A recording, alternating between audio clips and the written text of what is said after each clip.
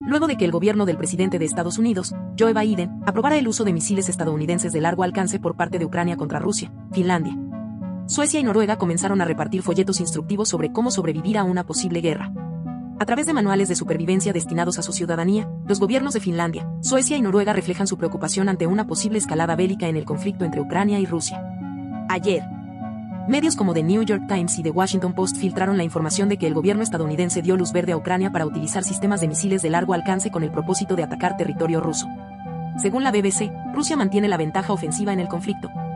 Por lo que la autorización del uso de misiles estadounidenses ha sido interpretada como una acción desesperada de la administración de Biden para mejorar la posición de Ucrania y facilitar una salida negociada al conflicto. Sin embargo, el uso de misiles de largo alcance podría agravar la situación, ya que Rusia podría responder de manera contundente a un ataque de esta magnitud en su territorio. Esto es especialmente preocupante porque el presidente de la Federación Rusa, Vladimir Putin, firmó este martes, 19 de noviembre, una doctrina que facilita el uso de armas nucleares por parte de su gobierno.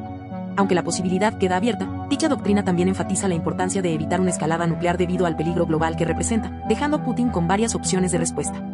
En este contexto, Finlandia, que comparte una extensa frontera terrestre con Rusia, ha comenzado a distribuir manuales de supervivencia a sus ciudadanos para prepararlos ante una crisis o guerra. Con un llamado a unirse a la resistencia, el gobierno finlandés insta a cada ciudadano a contar con suministros suficientes para sobrevivir las primeras 72 horas de un conflicto, tiempo durante el cual el gobierno implementará un plan de defensa.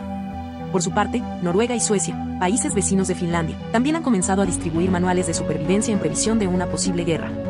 Aunque no es la primera vez que se llevan a cabo este tipo de acciones, durante la Segunda Guerra Mundial y la Guerra Fría también se repartieron manuales similares.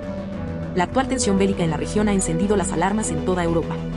Finalmente, algunos ciudadanos de Finlandia, Suecia y Noruega, entrevistados por la BBC, señalaron que el principal inconveniente ante una posible guerra es que muchas personas no podrían seguir las instrucciones de los manuales de supervivencia debido a las condiciones económicas en las que viven, destacando la crisis de vivienda digna que afecta a estas naciones.